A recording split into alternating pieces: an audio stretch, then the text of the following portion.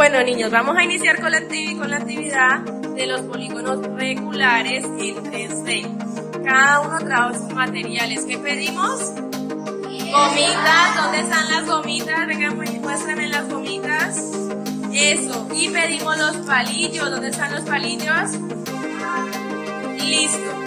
Cada uno va a iniciar a formar su figura, su polígono regular, encima de la hoja en blanco podemos iniciar